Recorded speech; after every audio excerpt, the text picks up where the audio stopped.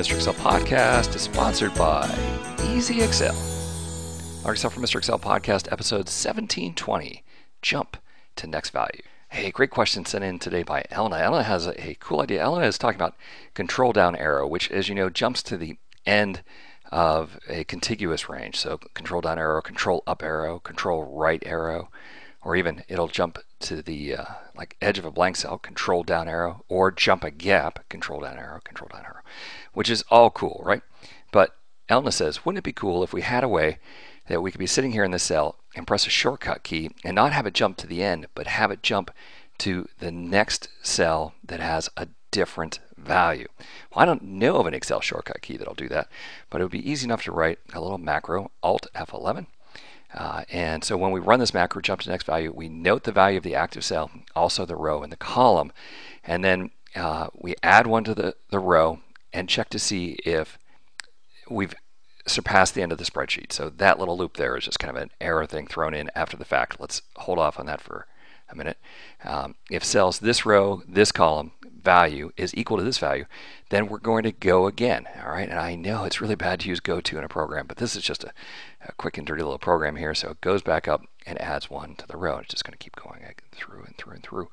Um, otherwise, uh, it will select the uh, cell at this row, this column, and exit the subroutine. So, you know, for a small number of records, you know, 10, 20, 30, 40, uh, this would be a really, really fast, fast way to go. Uh, it would be faster if we could use Control or if, Control F if we could use Find in VBA, which we can.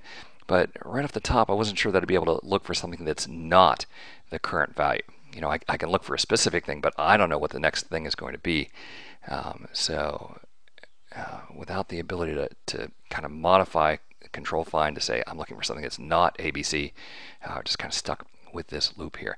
I did consider the possibility that we uh, actually hit the end of the spreadsheet, and that's what this code does. If we've gotten past application.rows.count, uh, then it's going to uh, beep and select the last row in the spreadsheet. Although practically, if you have a million that it's going to loop through, it's going to take too long. It's not going to be an effective uh, program. All right, so uh, let's come back here and take a look. I'll press Alt F8 and then click Run and it jumps from ABC right down to DEF. Okay, now we need a shortcut key for this.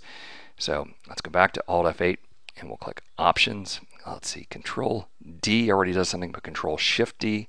So I type a Shift D in there. Now Control Shift D will run that macro. Uh, let's cancel. We'll start up here again. All right, so we press Control Shift D. It jumps down to DEF. Control Shift D. Control Shift D.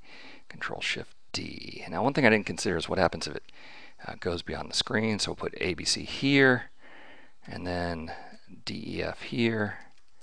If we are at the top of this and press Control Shift D, yeah, sure, it scrolls down. Uh, so it's kind of in the middle of the screen. Control Shift D. We'll go to the blank cell. All right, there you go. Well, all right, great idea from Elena. I want to thank Elena for sending the question in. And I want to thank you for stopping by. We'll see you next time for another netcast from Mr. Excel.